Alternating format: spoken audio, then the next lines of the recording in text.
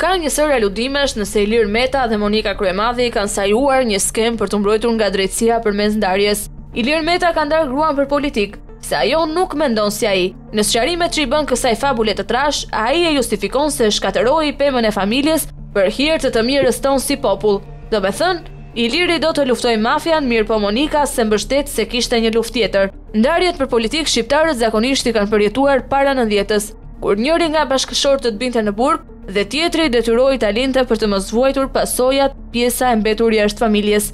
Ilir Meta na ka çuar në një tjetër stad, e la gruan para se të hynte në burg. Mirëpo gruaja s'mendon as si ai dhe as si regjimi. Domethënë, deri tani s'dimë ku gaboi politikisht zonja në fjalë. Ky standard i vendosur nga Ilir Meta nuk vjen nga ndonjë formulë logjike, por vjen nga raporti që ai ka patur me kohën kur divorcoheshin njerëzit për politikë. Fundja, Sali Berisha ka qenë sekretar partie, Edi Rama ka qenë djali i deputetit të Kuvendit Popullor, Ilir Meta akuzohet për spiun shokësh, dhe jo shef dege. Prandaj dhe standardin e ka kaq të ulët. Për të kuptuar seriozitetin e divorcit mjafton të shihni sjelljen e çiftit në fjalë. Iniciatori që akuzon gruan për tradhti politike del para partisë, jep sqarime dhe na qetëson që s'dashuron një grua tjetër. Pas kësaj, del si komentator sportiv dhe rrëzohet në studion e televizioneve. Për ta bërë më qesharake situatën, del komenton Skoci-Hungari ndeshjen më pa interes për shqiptarët, vetëm e vetëm të zërë një hapësirë televizive për të shfaqur qetësinë e tij të shtirur përballë lakut të drejtësisë, pikërisht atë qetësi që e tradhton edhe për seriozitetin e divorcit që ka ndërmarrë, ndërsa e shoqja që duhet të jetë e fyer në këtë gjithë histori, hesht për ta bërë ekskluzive fjalën e saj në ndonjë emision Kur t'ia caktojë drejtuesi i emisionit sipas nevojës së audiencës. E gjithë kjo panoramë tregon se sa e vuajnë divorcin e papritur të dy. Ka një sërë aludimesh nëse Ilir Meta dhe Monika Kryemadhi kanë sajuar një skemë për t'u mbrojtur nga drejtësia përmes ndarjes.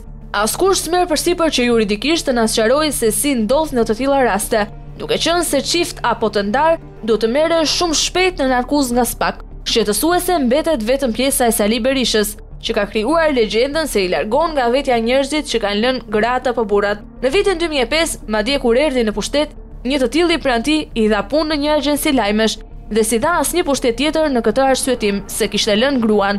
ndërsa një ministër e hoqi po për moral edhe pse hyri dikush në marrëveshje të përbashkët në shtëpi. Edhe për të birin thonë se s'i fliste për shumë vite për shkak të martesës së parë, legjenda këto që ndoshta s'i pëlqen t'i dëgjojë. Por i ka ngritur vetë i kompleksuar nga profili i detyrueshëm që duhet të ketë një konservator i djathtë. Tani çështja është se çfarë mendon Sali Berisha që aleati i tij më i madh ka lënë gruan pas njëzet e gjashtë vitesh. E sigurt është që për çdo makinacion që bëjnë këta, s'i kanë bërë llogaritë mirë. Meta mendon se duke justifikuar palmat e Lalzit pas 15 vitesh apo duke ia ngecur gruas, do justifikojë luksin që një qytetar shqiptar s'ka as shanse as ta prekë e jo më ta ketë. Ai tjetri në ballkon s'e kupton që s'e donte as Obama, As Trump e as Biden.